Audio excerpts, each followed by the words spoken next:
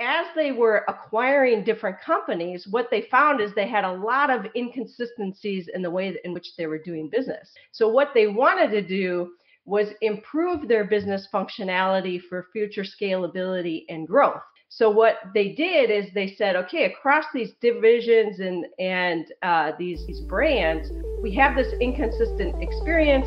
Some are doing better than others. Let's centralize. Growing a business requires a holistic approach that extends beyond sales and marketing. This approach needs alignment among people, processes, and technologies.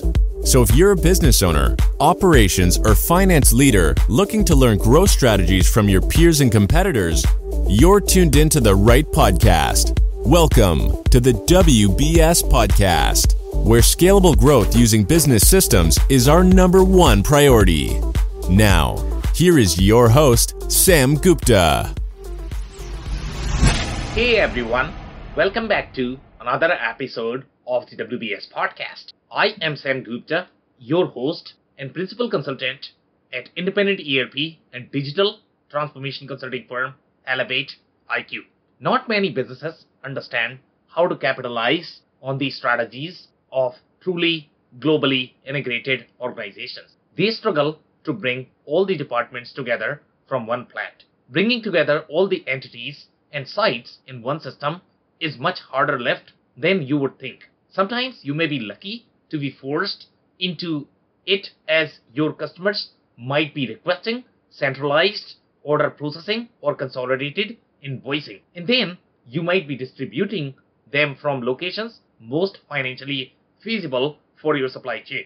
Centralized order entry requires you to share your master data across entities with deep intercompany and intersite functionality. And if you also have challenges such as omni-channel or complex e-commerce architecture, it could be even more complex. So what are the differences between centralized and decentralized order processing? In today's episode, we invited a panel of cross-functional experts for a live interview on LinkedIn who brings significant expertise to discuss the pros and cons of centralized versus decentralized order entry best practices. We covered many grounds, including what centralization and decentralization mean in different industries and how these businesses might be able to take advantages of synergies offered by these strategies. Finally, we discussed several stories where centralization and decentralization strategies resulted in financial and customer experience efficiencies. With that, let's get to the conversation. Hello, everyone. Welcome to today's show. And if you're joining for the first time, this is part of our digital transformation series for which we meet every Thursday at 5:30 p.m. Eastern. We pick one topic related to digital transformation, and we always have a very exciting panel that is willing to share their insights. For today, we have a very interesting topic that can go in many different perspectives. So, we are talking about the centralized order processing or decentralized order. We'll find out what that means uh, once we dig into the topic. Before we do that, we are going to start with everybody's intro, and uh, I'm going to start with my intro. If you don't know me, I am Sam Gupta. I am uh, principal at Elevate IQ. ElevatIQ is the um, uh, independent ERP and digital transformation consulting firm. We help our clients uh, with ERP selection, implementation, etc. On that note, I am going to move to Chris, Chris Garadini for his intro. Thanks, Sam. Hi, Chris Garadini, President and owner of Turnkey Technologies. Uh, we're a 28 year old uh, Microsoft Dynamics ERP implementation. So look forward to the conversation today. Thank you so much, Chris. Uh, Abu, can I ask you to introduce yourself next? Sure. Uh, my Hello, everyone. My name's Abu. Uh, I'm the founder uh, and owner for Pani Management Tech Corp. We are a Sage X3 partner, been in business for about 15 years now and we serve a wide variety of industries from food manufacturing to chemicals and equipment. Okay, amazing. Thank you so much for being here, Abu. Uh, Christina, can I ask you to introduce yourself next? Absolutely. Hi, Sam. Hi, everybody. It's great to be here with all you guys. Uh, Chris Harrington, president of Gen Alpha Technologies. We are a digital commerce SaaS software company for OEMs and aftermarket organizations. We really just help them with their digital commerce journey, which typically starts at e-commerce and then advances from there e-catalogs rma warranty and product configuration so uh, looking forward to this topic. Thanks, Sam. Okay, amazing. Thank you so much for being here, Christina. Uh, Tom, thanks for joining. Can I ask you to introduce yourself next? Yes, happy to do so. Can you hear me all right, Sam? Yes.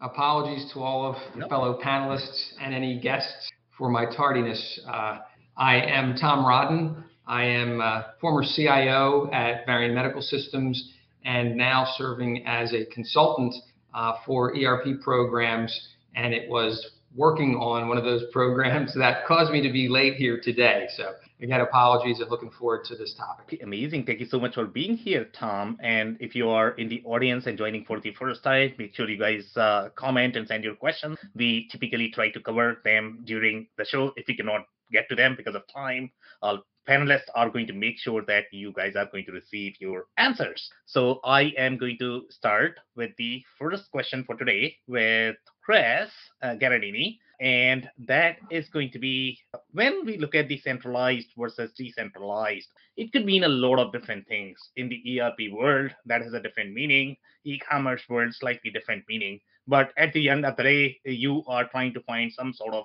synergies because the order processing may be closer to one location and then you want to uh, you know process at different systems or different locations. So when you think of the centralized versus decentralized order processing uh, what would you say and why that is going to be important for the executives to know as they are structuring their organization? Chris over to you Sure. And you know, as as I heard the topic and I'm thinking centralized and you're thinking call center constant, right? Where okay, hey, all the orders are coming into a call center. And I'm thinking, who makes phone calls anymore? So again, I'm not gonna pick too much on the centralized being a legacy perception, but I really do believe that decentralized is a world we live in. And, you know, as you think about the architecture and what that means and organizations, and they may start centralized and maybe, hey, I got a bunch of clerks or I've got my team keying in all the orders, right? Customers are, they're capturing them and the, and the team keys them in. But there's an evolution where we really want to capture orders at the point that they're created. And I think that there's a, there's a labor efficiency, you know, there's just a, a, customer experience that you create where people buy more, they shop more. So, you know, old, I say call center, centralized, it's kind of old school um, from my perspective. And I've just seen the, the industry evolve. And I mean, there's a lot to that though, when you've got to deploy and you're thinking about these peripheral points of captures. How do I allow people to put an order in and have it show up and be good, right? Do they know what kind of stock? Do they know that I even got that product? I mean, is everything a back order because they don't know anything? So there could be a lot of complications with that peripheral experience. But if it's done correctly, meaning you got a lot of integration loops that's moving, you know, visibility of data, visibility of stock out to those. Generally, I'm I'm I'm thinking the decentralized model, and if I listed, you think about a customer portal, an e-com site, a retailer that's sending you an order through an EDI, uh, a guy that's got an app that he can order off of an app. I mean, there's so many peripheral ways to capture an order, right? So it could be something that's an intercompany where somebody creates a PO and it automatically creates a sales order to ship to fulfill an intercompany transaction. So a lot of different examples of, as I'm going to call it, peripherally created transactions. And again, I don't think that anybody can say, oh, no, no, no, no, they all got to come right here. You may start there, but there's absolutely an evolution to be part of. Okay, amazing insights there, uh, and thank you so much for uh, you know painting the the picture there. Uh, obviously, it has a lot of different layers overall. The way you are going to think about the centralized order processing versus decentralized order processing, and one aspect is definitely going to be slightly more multi-channel, the way you described, and then you have a little bit of omni-channel aspect there as well. But you know, let's say if you look at more from the ERP perspective typically, and, and I am talking more from the supply chain efficiency perspective or from the financial efficiency perspective, the centralized order processing is going to be slightly more ap- applicable in your multi-site structure where you are trying to process the order for another site. Maybe you have four or five different sites, and I don't know how applicable that is going to be in different industries. I have seen some scenarios where companies really want to capitalize on that to take advantage of the the supply chain uh, you know. Different, different term. Let's talk about fulfillment, decentralized fulfillment versus order yeah. capture. So maybe use the wrong terminology to address what you're really asking about. Because decentralized fulfillment is great. I'm capturing orders and now I'm pushing them out to distribution centers based on geos and so forth. So distribu- distributed fulfillment or decentralized fulfillment is just a different concept. But that has a number of different strategies as well. Because what are you doing? You're now you're capitalizing on geographical efficiencies and proximity to customers. I mean, you look at the Amazon distribution centers. No, they don't. Nobody nobody nobody's going to fulfill out of a single warehouse unless you're a small company. But as you get into the larger scale, you know, distributor decentralized distribution is pretty common, and people do that based on geographies and and shipping. Again, if you think about volumetric products, I've got people that do pharmaceutical bottles. Well, they have to build those pretty close because you're shipping air, right? So there's a great example where I need a plant in Asia, one in Europe, one couple in the U.S., and those are examples where you have to be decentralized just the types of products. So product dimensions, products could lend into, again, decentralized fulfillment or not. So I think two topics there. Decentralized order capture, order entry, as you called it, versus fulfillment. So a couple of topics. Yeah, I completely agree, and thanks for pointing that out. Uh, and obviously, it could go many different ways, and that's why it's very important to understand, you know, how everybody thinks about these things. Uh, so, you know, we were definitely thinking about the order processing. Now, order processing could be just the capture, or it could include the distribution and fulfillment as well. So, thank you so much uh, for clarifying that, Chris. No problem. Um, now, Abu, I'm actually going to move to you. So maybe you can tell us, uh, you know, what you were thinking when you think about the centralized versus decentralized. Have you seen any sort of best practices or the challenges when companies try to capitalize on that? Number one, have you ever seen anybody using the centralized versus decentralized? And if yes, then what were their gains? So, I mean, so today it's you know you, you have so many different channels to sell, right? So previously you could have a call center and you know you can route out orders to there or you could just have your own one website. But now, for example, if you're selling through Amazon, right, so you have your own, uh, you know, it's a different ordering system. It's hard to integrate those systems with, you know, ERP uh, available right now. Then even other large retailers, for example, Best Buy, the big electronics retailer here in Canada, they have made their website a marketplace, right? So again, uh, you know, you can sell your own products through Best Buy, and then you know, so you're getting orders from there as well. Um, so now you know, then you have other large retailers who are doing the same. So, you know, the key question becomes you're getting these orders from all of these different places. Yep. How do you consolidate them in one system and then also push out, uh, you know, to your, to your fulfillment centers? One of the key challenges, you know, that happens with these is when the customer orders, I've seen companies facing they cannot fulfill the order. You know, I've you know I've run across clients where they're getting all these orders from their different channels, and that they had to let go of 50% of the orders because they didn't have the inventory to fulfill. How do we accurately push out the inventory figures to these all these different channels? I had a you know large client, a large retailer based in Canada, where we did this large e-commerce implementation. They would say that you know if they have 100 in stock, that means they're out of stock. So they would start, you know, they'll put a stop on it, fulfilling those orders. And especially again with a large retailer, we had a horror story where they updated a flag saying that the inventory is all sold, but in actually they had a whole warehouse full of it, right? Because one of their fulfillment center, uh, you know, their their messaging system screwed it up, and now so it's a very complex topic in today's world. Um, you know, it really depends on the kind of industry you're in, how you're selling, and you know and how do you fulfill right? So gathering order is just one part of the story. It's also if you have it in one place you know if you're collecting all the orders now how do you push it out for fulfillment? You know that also becomes a key issue yeah, so very interesting commentary there. And uh, obviously, it's becoming even more challenging as the channels are increasing. And mm-hmm. you are absolutely right. I have personally seen crazy scenarios with the inventory as well. And the, the funniest inventory for me is always going to be fake inventory, uh, you know, because why would you have fake inventory? yeah. uh, and that's very common, especially when you look at the e commerce, because the integration becomes so challenging that you know companies cannot really afford to yeah. have the live inventory, so they are simply going to have the. Yeah. And it's not just one e-commerce website you're integrating to. You know, you have Amazon, you have AliExpress, you have multinational you know websites where you can place your orders from. So it makes it very very complex. Yeah, I completely agree. So when you look at the consolidation, so are we talking about the consolidation of the single order, or are we talking about consolidation of different orders? Because you know these two are very different things right? So when you talk about the let's say if the consolidation is coming from the same because where you need to let's say ship the good from many different locations that would fall under more of the you know you get the centralized order from the headquarter and then you are shipping it to five five different locations because they might have five different locations. So that's a very different deal and very different business process than simply uh, capturing the orders and serving it in in from the central place. So are you attacking more from the uh, the single order perspective or multiple orders? I think both of them count right? So it's how do you consolidate all those orders into your you know into your erp system now right? And then once it's all consolidated, how do you fulfill those? So it can be fulfillment at an order level, or it can be fulfillment at an order line level.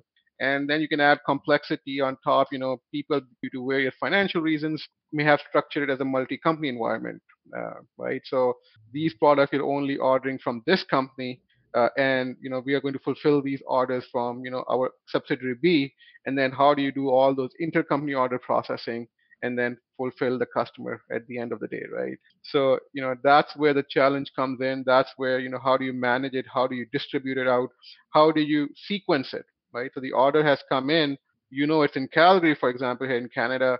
How do you find the closest shipping location, right, to minimize your freight costs, for example, right? So that becomes another challenge uh, as well. So you know, so you have to look at your business model, factor all of that in, and you know, companies keep on opt- working on it and optimizing it forever, right? As the business changes, you have to continuously look at that process, keep on optimizing it. Okay, amazing insights there. Thank you so much, Abu, for that.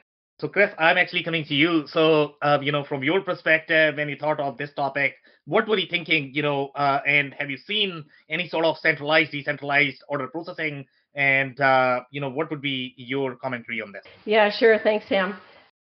I, I guess the first thing that I thought of was back in my manufacturing days, right? We we had a corporate office here in the United States where we uh, manufactured our large equipment and products.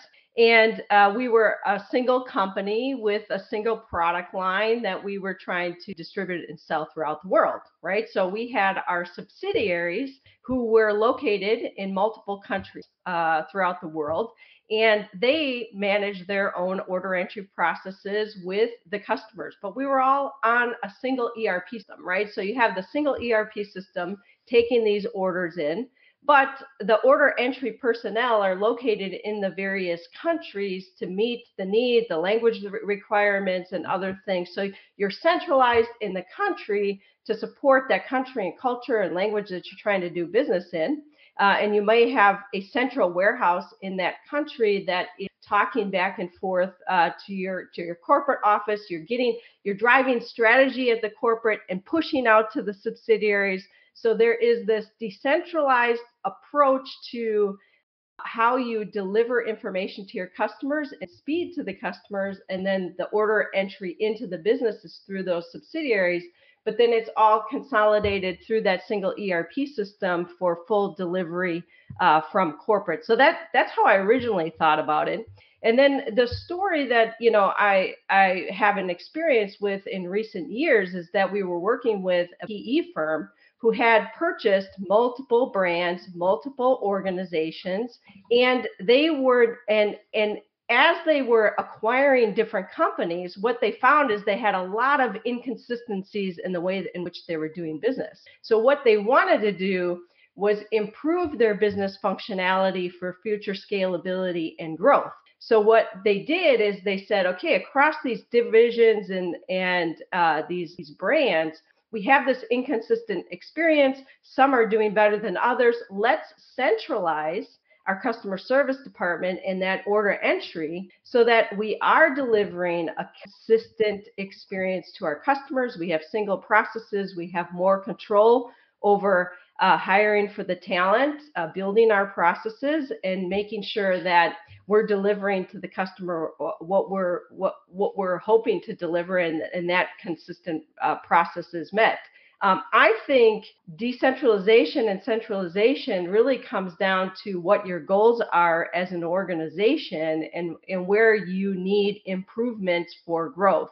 Um, so there can be, you know, some certainly value in centralizing, and then there could be some real value in decentralizing. It depends on what your challenges are and where your opportunities are with the business. You know, I, I was uh, thinking about something that I had heard recently that I found really interesting is that, you know, as companies, we are always trying to be more efficient in the sales process and i consider order entry part of that sales process right? It's it uh, it is that experience with the customer you're taking orders from your customers so we're always trying to build these uh, efficiencies and gain some efficiencies what we forget is we're not creating an effective buyer process to ensure that we're actually meeting our buyers' expectation. So I think uh, as you start to think about all the different ways that you create a more effective buying experience,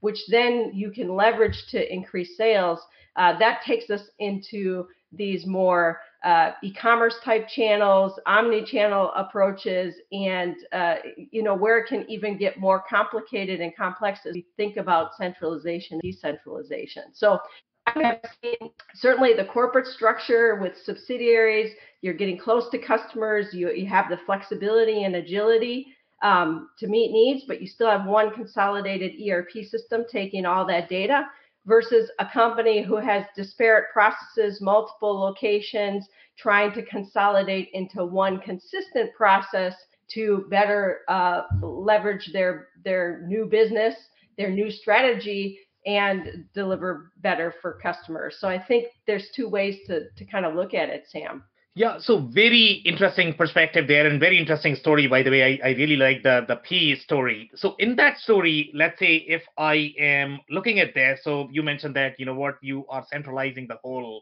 customer experience piece. So are we talking about more of the customer 360? Uh, is that what are we trying to centralize or uh, is this the, is this going to be can this site process the order for the other side because these these two are going to be two different things so uh, did they do the customer 360 or the order processing from multiple sites for other sites? So what they did is they they centralized the order processing. So all of the communication with the customer and taking orders. So they they also launched an e-commerce site. I will say it was two parts. They centralized yeah. their call center and they rolled out an e-commerce site. So customers had the ability to self-service or call into a call center but the distribution, so the fulfillment and the production of the goods was still happening at the multiple locations. So they centralized the customer piece, the order entry piece, but any questions related to the product, and this is where it gets challenging, right? So if those customer service people aren't in the location where the manufacturing or the fulfillment is taking place, they might not have uh, the knowledge uh, or either the knowledge of the product or the knowledge and experience with the customer. That's something you lose when you centralize, right? But uh, they were able to scale and grow as they acquired more companies. They were consolidating and through this uh, smaller group, they were able to again use their consistent processes and people to apply that to more businesses. Okay, amazing insights there. Thank you so much, Chris, for that. So, Tom, I'm coming to you, and I know that we were having this uh, discussion last night, and we knew that this discussion could go either ways. Um, so, I know that we were thinking more from the ERP perspective. Uh, that okay, uh, you know, decentralization and centralization could a lot of different things. So, from your perspective, how would you break it down uh, for the people who might not be familiar with, you know, how this is going to work? Sure. I I agree with pretty much everything I heard from the panel. You always assemble a good panel, Sam, and uh, they're, they're, we never come to fisticuffs. We tend to have uh, consensus. But uh, it's interesting. I, I looked at this as you were saying when we chatted briefly last night. I was looking at this as systems and operations. Um, and I tend to lean towards more centralized systems um, but not necessarily centralized operations. And I think this is part of the point that Chris was making that you can have a single ERP or you can have a, a global uh, e-commerce system.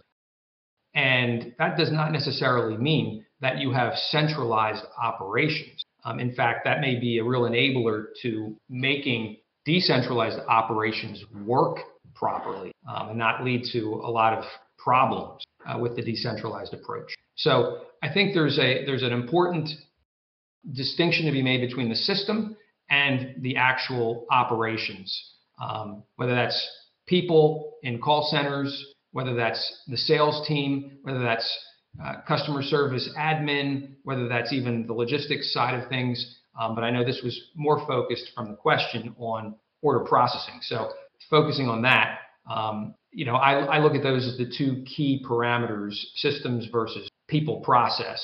Um, now, one of the things I thought was interesting as I listened to the rest of the members of the panel um, was that some people, you know, people talked a lot about centralized systems. Um, and, and Abu talked about e-commerce and, and Chris talked a bit more about ERP.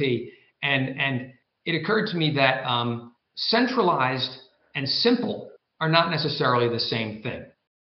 So you could have multiple global systems that require complex integrations and it's centralized in the sense that there's only one ERP and there's only one portal and one e-commerce site and there's only one of this and one of that.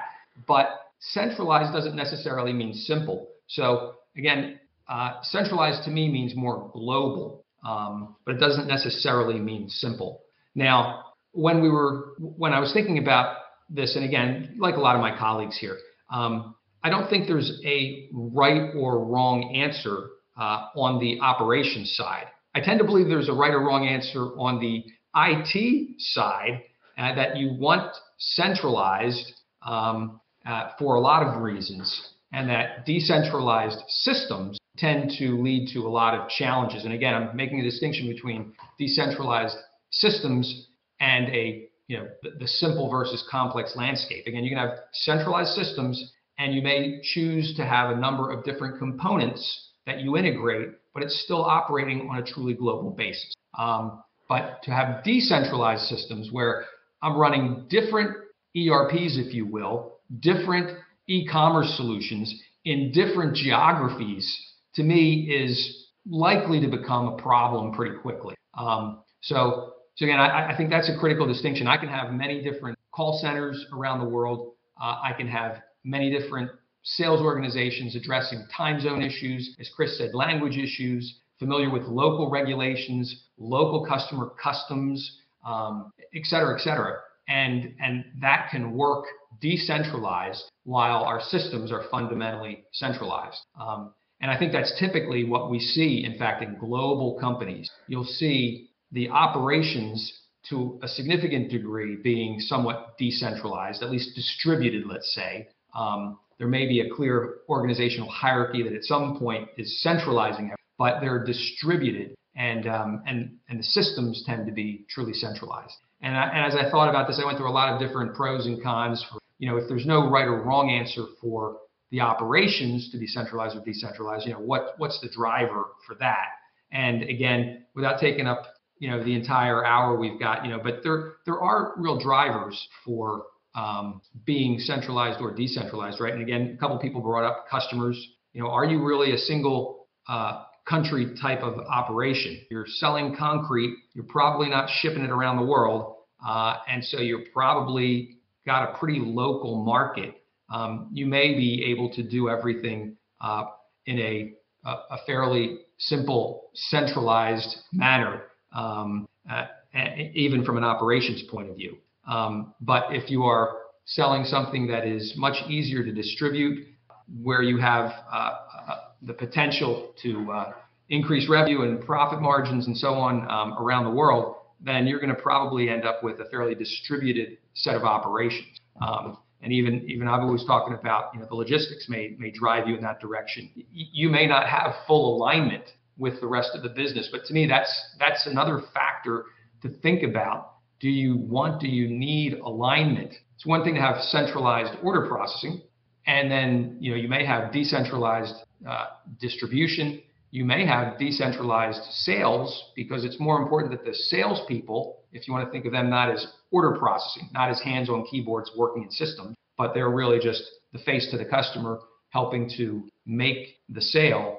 But ultimately, they're giving it to a back office to load into the system. You know, you could have a centralized uh, order processing team that's separate from a decentralized sales and service organization. I've seen that too.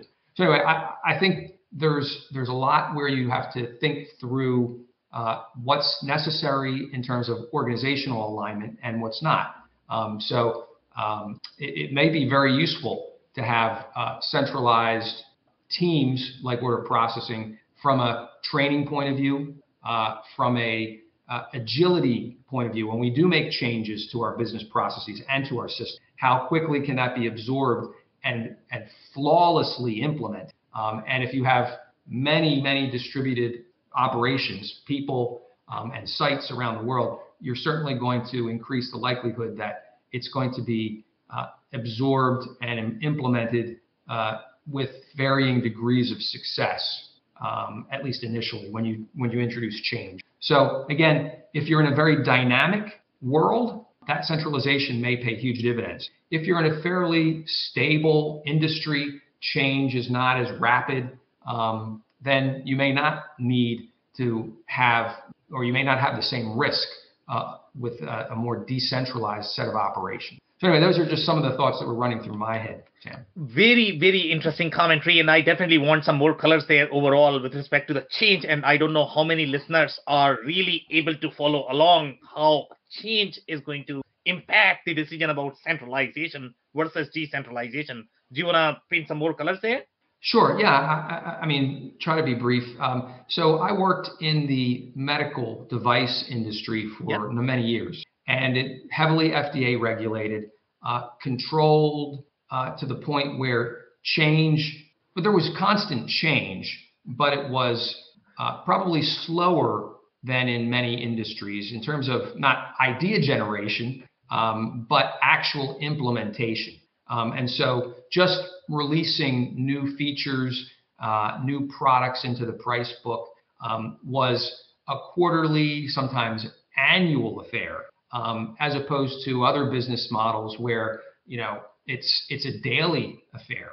Um, so the the speed of change in our industry, um, I think, helped to allow uh, more decentralization, where there was time for change to be absorbed, for it to be implemented effectively. Um, and you wouldn't have chaos because you know you had 100 changes coming at uh, order management teams distributed across 50 countries and you know you're going to have to translate things and have conduct all this training and so on and so forth so the ability to uh, uh, manage change to me is also a key factor whether or not you want to be centralized or decentralized from an operations. Amazing. Again, one factor. Thank you so much, uh, Tom, for that. So, Chris, I'm actually coming back to you, uh, and we are going to be covering some stories. If you have any specific stories where you have seen decentralization being more common, and if you have seen any sort of financial supply chain, any sort of you know customer experience efficiencies, uh, you know because of centralization versus decentralization, do you have any stories that you might? Yeah, and I'm, i just want to start off because as I listen, I think that the segmentation of the process can can go from decentralized to centralized back to decentralized, and specifically, is you know Chris's point was great. As you think about control, and so forth. But if we think about order capture, and we I said in fulfillment, but if you think about order capture, it could be all over the place. Great, but once yeah. we get it, once it lands in one ERP, no, I don't want a bunch of decentralized ERPs, one ERP, but they have centralized customer service, right? The order lands, someone's got to pick it up. Okay, does it automatically fly out to the distribution centers? Is somebody controlling that? But even after it goes out, and it could be dispersed into decentralized fulfillment centers, but it's going to come back around and ride centralized invoicing, AR cash payment. So I think that as people hear this, that there are some areas where hey, let's take orders from everywhere. Right. They all got to land in the same place, but then we manage them in a consistent process, ship them from wherever you want, and again, it comes back. So there are some centralized processes there. Um, and again, you go back to the to the stories, and again, the the complex architecture, and again, the simplest example I actually talked with somebody today is uh, is where they're pushing out a power app to a distributor. So now we're really decentralized order capture, where they give the guy a device, and on this power app, it's a Power BI chart that shows that his inventory lows, and he clicks on it, and it creates a sales order in the back office system. There's a great example. People like, really? Simple, very low impact on licensing. We create a customer experience. We push that out there. So that's that's the extreme on the other end. But as you go back to the disties and we go back to the other side of the equation where the fulfillment, right? I may have centralized order processing, meaning I'm capturing, I'm managing, I'm releasing, but maybe I'm using a 3PL. 3PL is a perfect example of decentralized distribution aspect of your business because you're you're getting rid of it. Could be you have a warehouse, you use another warehouse, but again, that model, and I've got customers that have both 3PLs and they have their own warehouses. So again, decentralized on the distribution side, they do have centralized order pro- centralized meaning customer service and I'll use that term because once the order is booked, one team handles it. But again, the dispersion, they're gathering orders from EDI from e-commerce, reps in the field via CRM, right? And again, you get it, maybe some auto replenishment. But those are the those that's the one example I have. I'm not going to name the company, but nice architecture, it really was. And they did have decentralized, centralized, decentralized. Okay, a lot amazing, amazing insights there. And Chris, uh, I'm going to have a follow-up question for you, sure. and that's going to be on around my favorite topic and your favorite topic, which is going to be architecture always, right? So now when we think about the system implementation, right? So from the system implementation perspective, I don't know how many people can think of the centralized versus decentralized, how to plan for that and how to make decisions which is going to provide you the centralized the decentralized experience there are there could be several different layers in terms of how you want to plan for it. You know which are the entities are going to be holding the product what product data is going to be shared what customer data is going to be shared what vendor data is going to be shared and all of the the points that you mentioned you have to implement in a way so that you get the results that you are looking for. When you talk about okay centralized versus decentralized order capture and then centralized versus decentralized distribution and then finally the invoicing so all of these things are going to have multiple layers and you need the information architected in a way so that you can accomplish what you are looking for. So how do you plan for this architecture when you are well, yeah, it's a great question. And so, you know, when somebody shows up and they have a project, do they already have that complexity in their world, or is it the future? And or do you find them halfway in between? And I think a lot of times what's the current landscape and is this is this the perspective that okay we're going to grow we're going to get real big and everybody does but meaning is that an incremental rollout and an extension into the decentralized mode? And certainly you know everybody that's selling they're always okay do i light up every channel to sell? And they're like scared right? Well what if i get a lot of orders? And so even that process is going to be what i would describe as incremental. So again if I show up and they've already got the complexity, I've got to replace it. I can't really deprecate any of it. But a lot of times we show up and, and they're still on the cusp of expanding in that. And again, as we look at the omni channel, it's a next and next and next. And people are typically adding these channels as they feel confident and they can manage it. But again, to your point, there's a lot of integration. Meaning, if you let people take orders and you don't have any of the inventory stock visibility, you can have a cluster and you can have just crash because of customer service. So that's why that incremental strategy is behooves companies because they don't overcommit, but they also really get their ducks in a row because you're right. If you're not in that mode today, great. You crawl into it and you plan, okay, where's my best ROI? When do I open up this channel versus this channel? How do I control it? I've got a group that that only put 10 products out there. They got hundreds of SKUs. Let's start with 10. Let's see how we do with 10. And so there is a crawl walk run even in getting to the decentralized order capture and again, even what do they give customer devices? They're going to make sure they're doing it right internally before you extend that out because there's a lot of business logic and processes you got to put in place to make sure that if I'm capturing a transaction out here, it's perfect when it gets here. And even that, it may be gated. So a lot of considerations just on that front end order capture before you extend it out. And certainly the backside distribution, as I said, a lot of companies may have already evolved in that model. They may have three warehouses when you're showing up, and they may already be doing that because of the size or the weight of their products. And they know that I can't ship from the East Coast to the West Coast. I need to have a DC out there. So a lot of them have already evolved that. But if they're growing, certainly, you know, they buy a system and the platform, you've got to know that it has that capability to extend to multi-site, multi-location. And when you're doing your master planning, your MRP, that it's got transfer in, transfer out, as opposed to some mindset that everything goes one way. Because and it needs to support those complexities so that you can scale into that. So there are requirements. You may not be doing it today, but you need to make sure your systems do have the capability to kind of handle those capabilities as you go there. So Okay, amazing insight there. Thank you so much, Chris, for that. So, Abu, I'm actually coming to you. And, uh, you know, when I go to the businesses, obviously centralizing is not something that I personally see. Okay, even inside just one site, one plant, uh, they are probably going to be using multiple systems. Let's say if they are doing manufacturing and distribution okay? They are probably going to have two different systems one for manufacturing and one for distribution. When we talk about the consolidation of global footprint multiple entities multiple sites that's a very very very complex uh, you know implementation. And sometimes people simply avoid getting into that because it's just too much thinking that okay i need to figure out okay how am i sharing my product data? How am i sharing my customer data? How am i sharing, sharing my vendor data? Let's just keep them isolated so, in your experience, when you look at this, how would you plan and what would you advise when you are going for that are thinking of going for the centralization journey? So, so there are two aspects to this, right? So, one is how defining your own business, right? So, if I say you just you should only centralize or decentralize, you know, that'll be the wrong answer, right? It's not going to work in every time, right? So, the key thing to figure out first is what's your sales strategy, right? So, if you're a if you're focused towards consumer items, right, then you're probably going to have multiple channels to sell. Right? You have to be on Walmart, you have to be on Amazon, you have to be on you know other large retailers. You have to have your own website. Uh, you know, you may also have your own other selling partners. So that's going to you know, so you'll have a distributed ordering system, right? So you, you have to then figure out how you to consolidate those orders and then fulfill it if you are, for example, a B2B customer, you're making large engineering products, you know, you can say heat exchangers or things like that. where it's not like a consumer. You're not going to get 100 orders a day. It's a million dollar item. You know, it takes four months to sell it. Then you can have a. It's easier to have a one centralized system to fulfill it, right? So geography is not important because all your manufacturing is going to be concentrated in one place. All your distribution is probably going to be happening from one place rather than having six different distribution centers across the country and then fulfilling it from there. So that would be the first thing, you know, I'd ask businesses to look at is what's their sales strategy, where they're going with it, what's their long, like five-term vision, and then designing the processes to support it. I mean, ideally, you'd like to have at least one ERP system managing all your aspects of inventory. Uh, you know, if you have too many systems, then obviously it becomes a big challenge, to, you know, just to have visibility across inventory.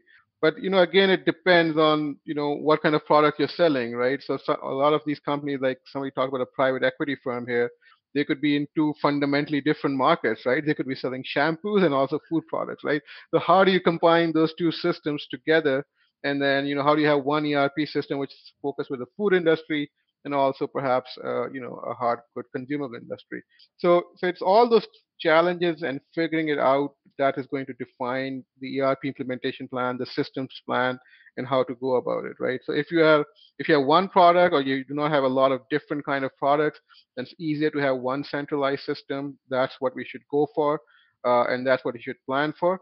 But if you have if you have you know products which do not really complementary products, you know, they have very different production requirements, they have very different, you know, distribution requirements, then it's probably to have systems which, you know, which can handle those unique business needs and then consolidating it perhaps at a higher level, integrating at a, a different kind of level to fulfill those orders. Uh, you know, so then integration becomes a lot more important than perhaps you know, having one system. Okay, amazing. Do you have any specific story that you might be able to share uh, where you have seen any sort of centralization where that gained some sort of efficiency. So, I mean, so for example, we work with a large, you know, retailer uh, here in Canada. Again, you know, they would sell equipment, you know, they'd be procuring, you know, food you know they'll also be selling uh, lawnmowers yeah uh, and then they'll also be selling tvs as well right so very different kind of system very different uh, procurement requirements and very different storage requirements right you have to you know you know have to worry about expiry dates when it comes to food but you don't have to worry about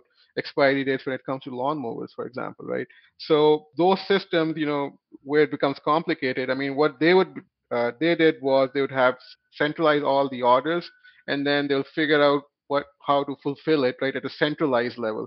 You'd have different ERP systems running in all of their different uh, facilities, and then that centralized system would have a logic layer built into it. You know, if it's a food product, for example, uh, you know, based on, for example, postal codes, uh, geography, we are going to push it this order for fulfillment to this system, right?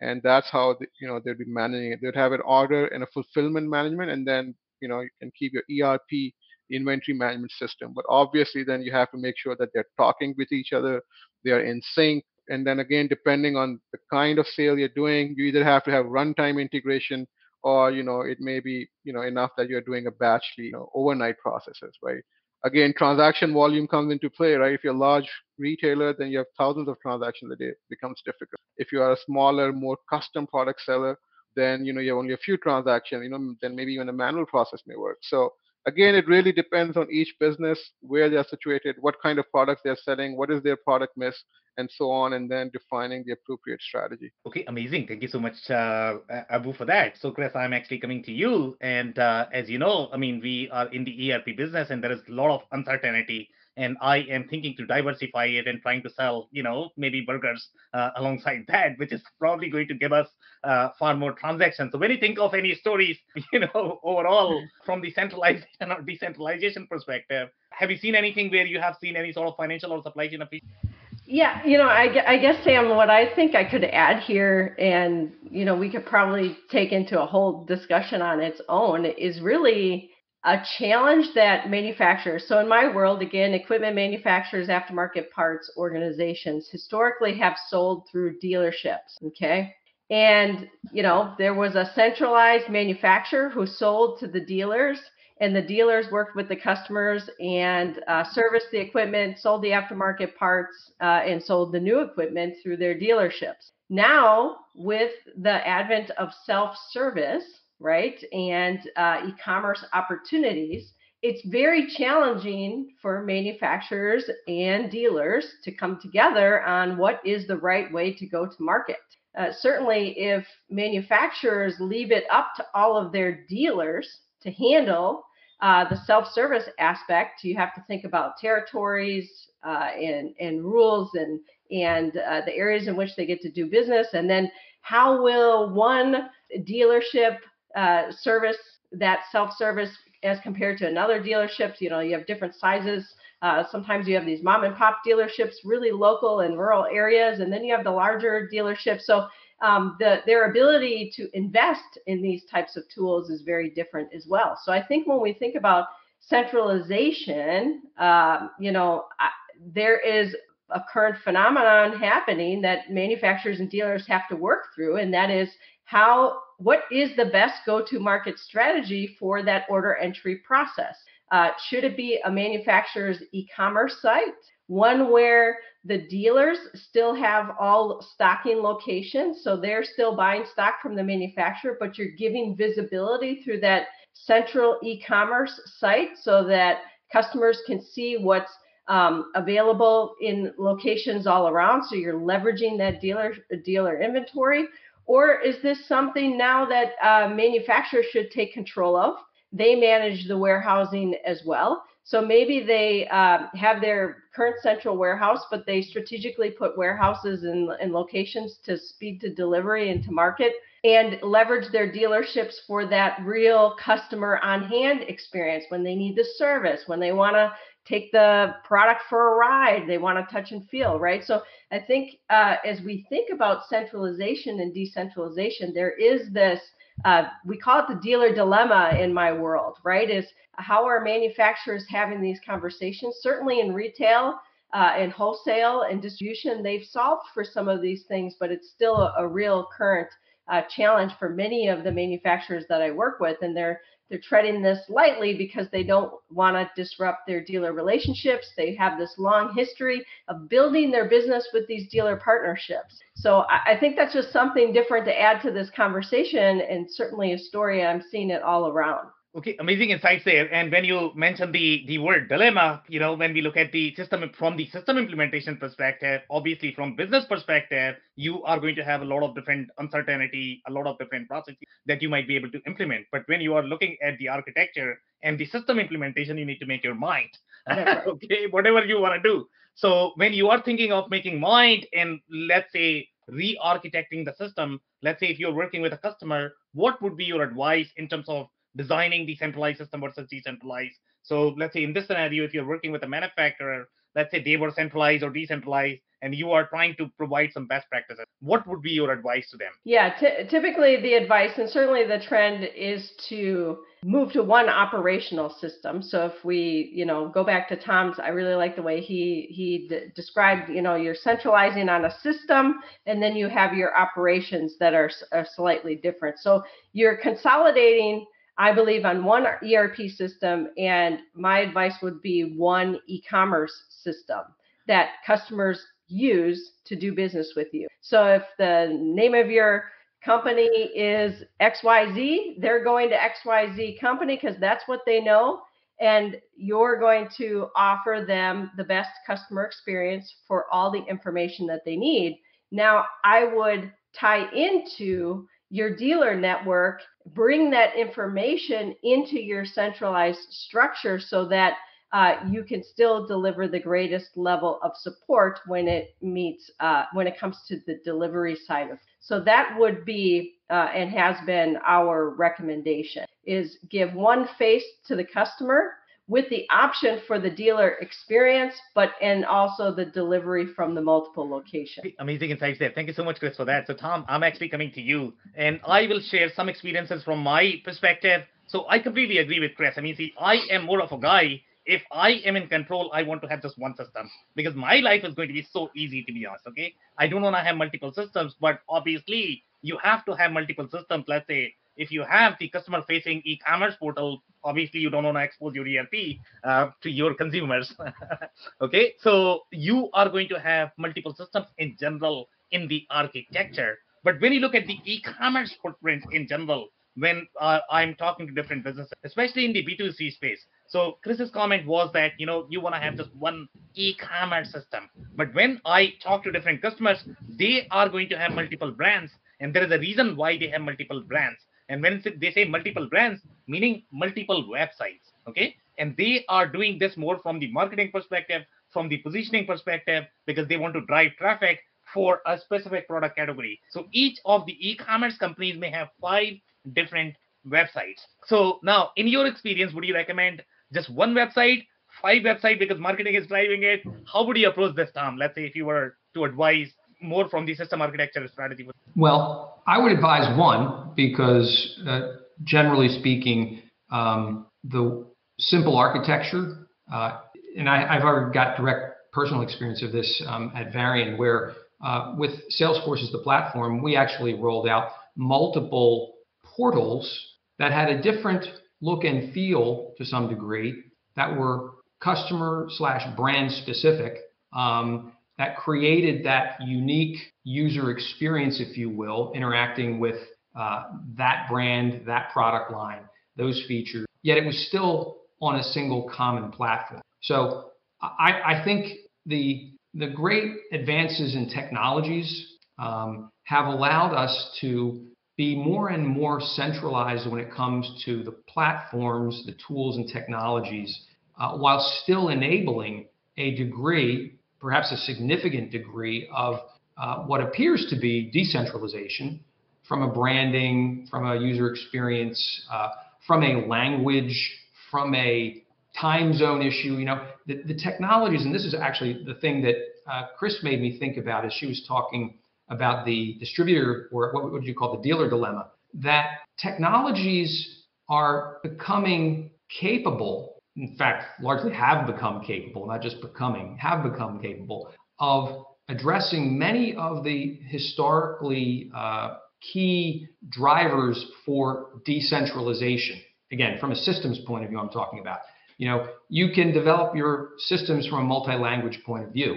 Uh, and again, I'm talking customer facing. You can drive outputs uh, in terms of invoices or quotations or other document types that are pulling in the legal jargon, the local language, the T's and C's that are needed for each local market. Yet it's still one central system. And, and so one of the things that, that, as Chris was talking, I was thinking, gee, you know, technology is is not only enabling this, but it is probably undermining any businesses, as as Chris was describing, that are really fundamentally or for, for a long period of time have operated based on a decentralized model because centralization is becoming easier and easier with the capabilities that our systems today offer.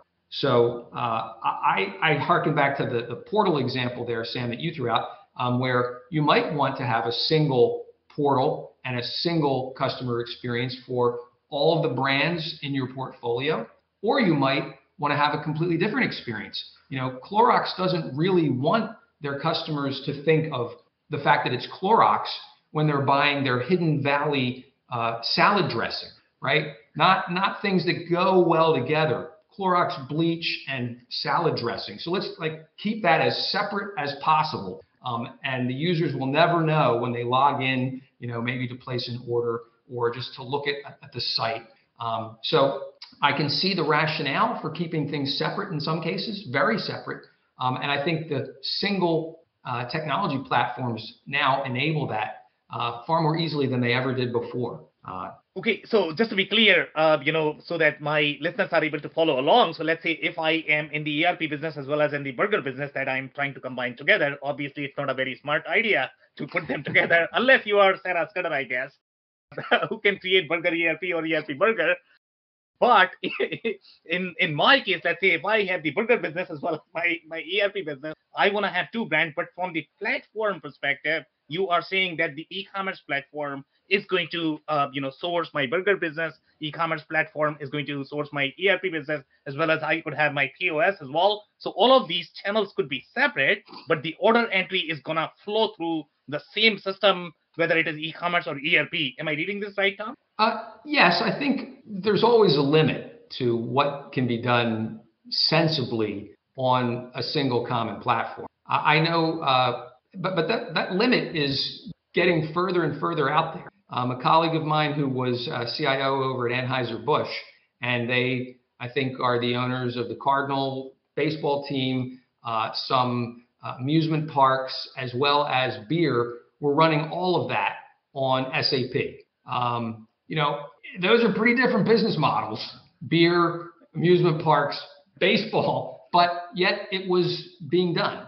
Um, you know, so even that is possible. Um, so I, I, think, you know, yeah, we are getting to the point where, um, again, the devil's in the detail. You, you have to really configure these systems to be able to handle very, very different models in that example. Um, but, you know, it is, it is possible. Um, and obviously, then that facilitates a lot of the back end processing, uh, certainly from a financial point of view, uh, streamlining and accelerating uh, and simplifying. So um, that that was one example that I came across, and and even I, I worked as a consultant at Clorox for a number of years, and you know they had many different products from motor oils to bleaches to salad dressings to other things, and those were fairly different models of distribution and and obviously completely different customer bases. Um, and uh, yet they still ran it all on a single platform. So um, yeah, I, I, think the issues are not so much the technology anymore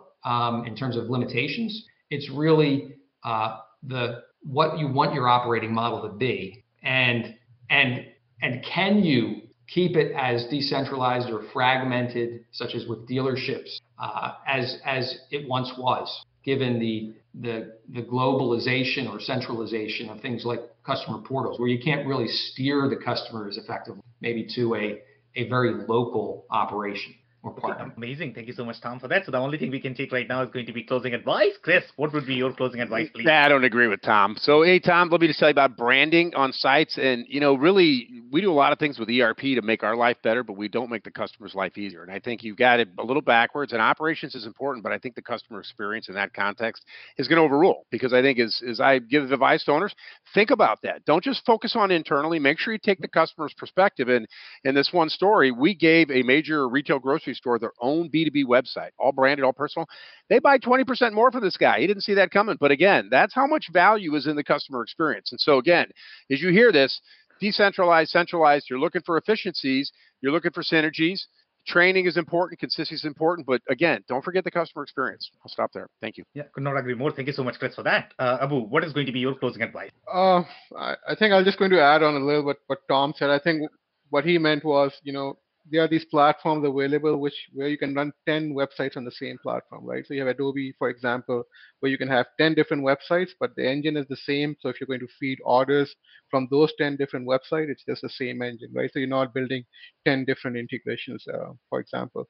Uh, other than that my suggestion would be you know always think of your business first and then design your system and operations to fulfill those. And it can mean very different uh, technical art Okay, completely agree. Thank you so much, uh, Abu, for that. Uh, Chris, um, what would be your closing advice, please? Yeah, I think I'm just going to repeat some of the things that we've heard here that I think are most important, and that is that there is a trend to centralizing your systems. There's efficiencies gained if you if you're running multiple ERPs, if you're running multiple CRMs because you've been acquire in acquisition mode. Yes, consolidate those. There's there's definitely value there.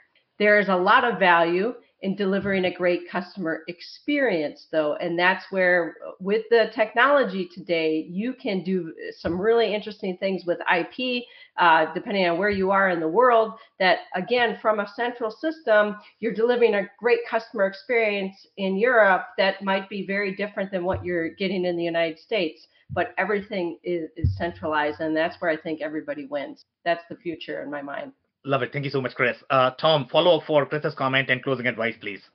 Yeah, no, I agree. I agree even with a person with whom I disagreed, I guess, uh, Chris, um, in that I, I, don't think we really fundamentally disagree. And I think Abu kind of nailed it that it, it's not about uh, putting, you know, internal ops, treating them as more important than, than the customer facing experience and relationship. Um, it, it, was it, my, my point was a little bit more about trying to achieve both simultaneously and not not being forced to choose. So, but but I, also I, I, kind of agree. And my final comment would be in terms of what Abu said about, and maybe even Chris, you know, about focusing on process. I think process and operations uh, are the key decisions. Systems come later, and and the systems are so good now. I think you can centralize much, if not all, of the systems, even with a fairly decentralized business model. So I'd say start with your business and process model, uh, and then worry about uh, the systems, which I think is exactly maybe what Chris was saying, right?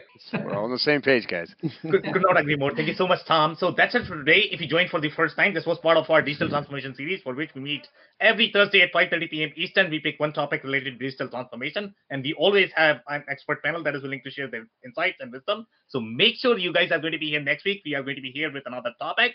Uh, on that note, thank you so much, everybody, for your time and insights tonight. Goodbye, everybody. Nice seeing you all again. Bye, Take care.